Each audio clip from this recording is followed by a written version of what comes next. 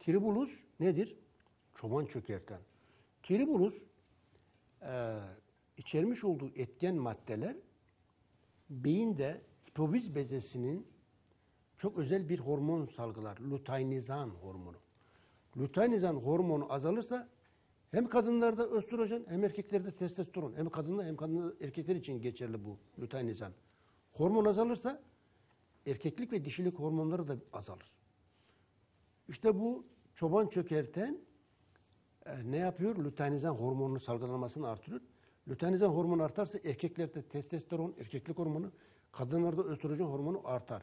Yani bu aynı zamanda kısırlığa karşı da etkili. Sadece cinsel fonksiyonları, hormonları artırmaz, testosteron. Bununla ilgili bizim çok özel bir formülümüz var.